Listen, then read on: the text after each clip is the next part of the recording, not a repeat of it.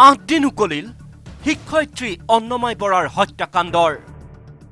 এতিয়াও মুকলি আকাশৰ তলত জঘন্য হত্যাকাৰী।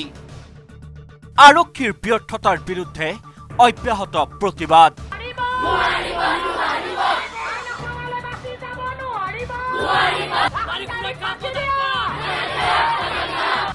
ৰাজ্য কঁপাই যোৱা যমুনামুখৰ শিক্ষয়িত্ৰী অন্নমাই বৰাৰ বৰ্বৰ হত্যাকাণ্ডৰ বিৰুদ্ধে অব্যাহত আছে প্ৰতিবাদ।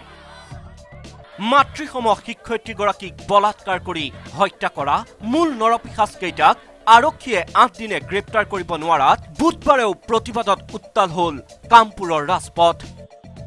শীঘ্ৰে হত্যাকাৰীক ফাঁচি দিয়ক নাৰীৰ সুৰক্ষা সুনিশ্চিত কৰক আদি বিভিন্ন শ্লোগানেৰে ৰাজপথলৈ ওলাই আহিল শ শ ছাত্ৰ ছাত্ৰী শ শ শিক্ষক প্ৰচণ্ড গৰম প্ৰখৰ ৰ'দকো নেওচি জ্ঞানৰ পোহৰ বিলোৱা এগৰাকী শিক্ষয়িত্ৰীক নৃশংসভাৱে হত্যা কৰা অপৰাধীকেইটাৰ কঠোৰ শাস্তিৰ দাবী তোলে প্ৰতিবাদকাৰীসকলে।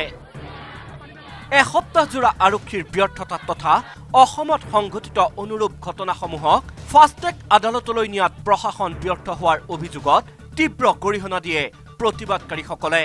তেওঁলোকক ফাষ্টেগ আদালতৰ যোগেদি অতি শীঘ্ৰে বিচাৰ হওক আৰু তেওঁলোকক এনেকুৱা দৃষ্টান্তমূলক শাস্তি দিয়ক যাতে গা নোম হিয়ৰি উঠে সেই শাস্তি দেখিলে। মই ইয়াক একে আখাৰে ধিক্কাৰ দিওঁ সকলোৰে লগতে আৰু মই ভাবোঁ অপৰাধীক ফাঁচি দিব লাগে। অন্নময় বৰাৰ ন্যায়ৰ দাবীত এনেদৰে প্ৰতিবাদ অব্যাহত থকাৰ সময়তে প্ৰশ্ন উত্থাপিত হৈছে দুৰ্ভগীয়া শিক্ষয়িত্ৰীগৰাকীক ন্যায় প্ৰদান কৰিবলৈ সক্ষম হ'বনে অসম আৰক্ষী? কামপুৰৰ পৰা মাধৱ ভূঞাৰ সহযোগত Nilotpal Bora news eighteen Assam north east.